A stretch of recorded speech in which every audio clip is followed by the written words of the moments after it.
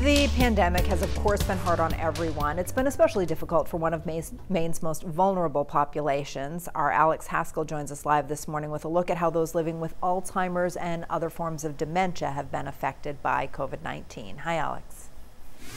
Hi, Sharon. Well, a report published by the Alzheimer's Association examines the devastating impact the pandemic is having on folks living in the state and across the country with the disease. In Maine, there were 269 more deaths from Alzheimer's and dementia in 2020 than compared to averages over the past five years. This is more than a 15% increase. The report also shows the increased challenges caregivers of those with Alzheimer's and dementia face during the pandemic.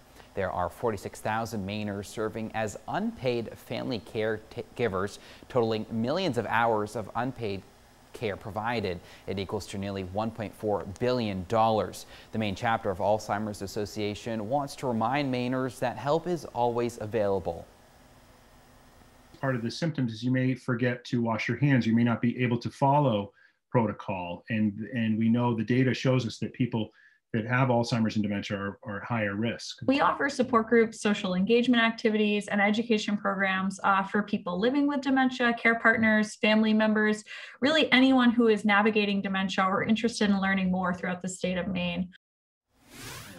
Now later this morning we will have a list of those resources mentioned on our website and mobile app and the Alzheimer's Association is also available for around the clock support. You can reach their hotline at 800 272 3900. Live in studio this morning Alex Haskell, News Center Maine.